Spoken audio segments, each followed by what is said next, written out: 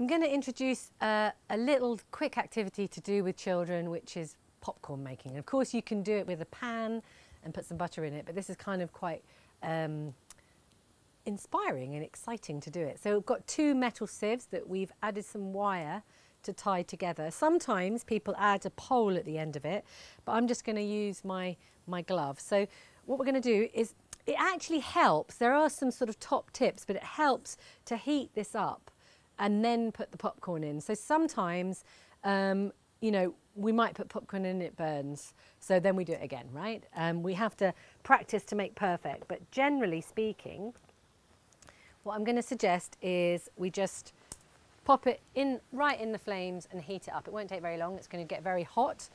And get our popcorn out and going to put a little bit of popcorn in a minute. I'm going to open it up with the gloves on, put it inside and then gently hold it over the flame. And if we're lucky, first time we'll have a bit of popcorn.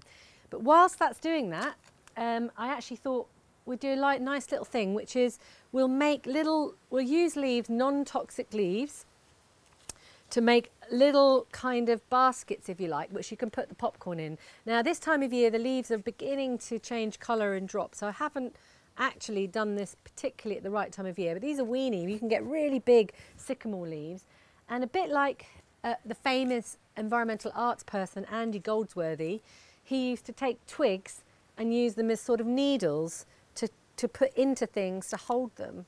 So simply by using the twigs, you can actually join things together and make a nice little cup.